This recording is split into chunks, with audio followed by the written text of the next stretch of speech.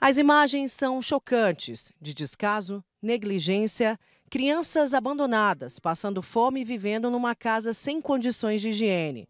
A polícia e o conselho tutelar receberam a denúncia de vizinhos. A casa toda suja, desorganizada, as crianças com fome, as crianças chorando, criança dormindo no chão, porque só tinha um colchão velho lá, uma bagunça total imediatamente, juntamente com a Polícia Militar, encaminhamos todos aqui para a Central de Flagrantes. A família morava numa casa no setor Ele Forte, aqui em Goiânia. Cinco filhos, a mãe e o pai. Esse pai agredia tanto as crianças quanto a mãe. O Conselho Telar já tinha feito uma visita a essa família e notificado, dizendo que as crianças precisavam estudar, estar na escola e a mãe precisava melhorar aquele ambiente da casa, fornecer comida e higienização do local, o que foi ignorado pela família.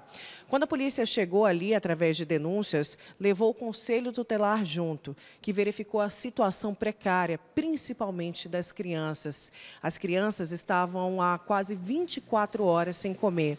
E segundo médicos do hospital que recebeu a criança mais nova, um bebê de apenas 5 meses, ele teria um peso de um recém-nascido, não chegando nem a 4 quilos. Levamos a criança para o médico, a criança foi internada e segue internada. Hoje a equipe do hospital entrou em contato comigo. A criança vai ficar lá até ganhar peso, porque está na situação de desnutrição. O pai vai responder por agressão contra a mulher na Lei Maria da Penha, abandono de incapaz e agressão contra menor de idade.